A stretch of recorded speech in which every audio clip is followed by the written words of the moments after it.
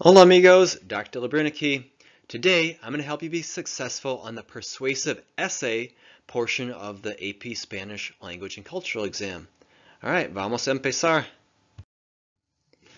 Alright, so first up we need to know um, what are the tasks, what are they going to be asking us to do, um, what's it going to look like.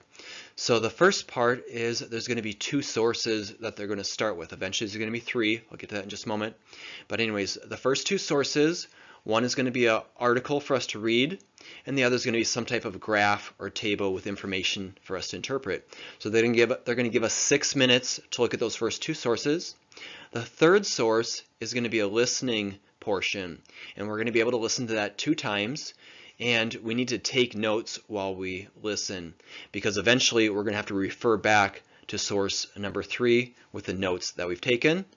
Okay, once we've seen the three sources, we're going to have 40 minutes to write our persuasive essay. So that can be a daunting task if we've never practiced before. But you're watching this video, hopefully you're practicing, and by the time that you've done it a few times, um, it gets easier and it is possible to do it in 40 minutes after you've practiced. Okay, so what are we doing in our persuasive essay? Well, we're trying to persuade somebody of our viewpoint. So um, we need to state our viewpoint, um, but we also need to present both sides of the argument. And then we need to refer to the three sources. And then also we need to put our thoughts into paragraphs. So we're going to take a look at um, how do we come up with an outline, how do we do this.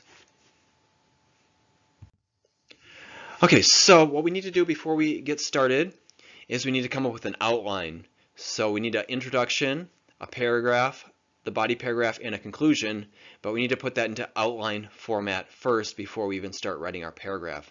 So in our introduction, we want to tell the reader what we're going to talk about in our essay. And then in the body paragraphs, we need to support our viewpoint and we need to cite the three sources. I'm going to show you how to do that in just a moment. And then in our conclusion, we need to tell the reader what they just read about. We need to conclude it and wrap it up. So um, before we start writing, we need to come up with an introduction, a body paragraphs, and conclusion outline. And then from there, we're going to put it into a paragraph format. And so how do we cite our sources? Um, so a source can be a fuente, which translates as a fountain or a source. And there's no set style. Sometimes students ask, um, do I need to do it uh, in Chicago style or APA or MLA? Um, there's no set format. They haven't stated anything like that. They just said you need to cite three sources. So you could just simply say fuente numero uno dice, and then give a specific example with quotation marks supporting your viewpoint.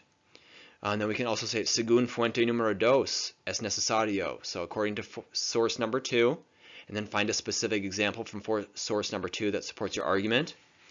And then we can also say de acuerdo de la tercera fuente, IK, so um, according to the third source, and then again we find a specific example that supports our viewpoint.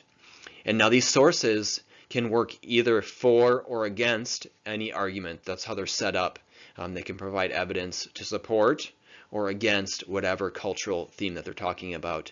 And in the practice example that we do, it's about the quinceañera, the birthday party for 15-year-old girls.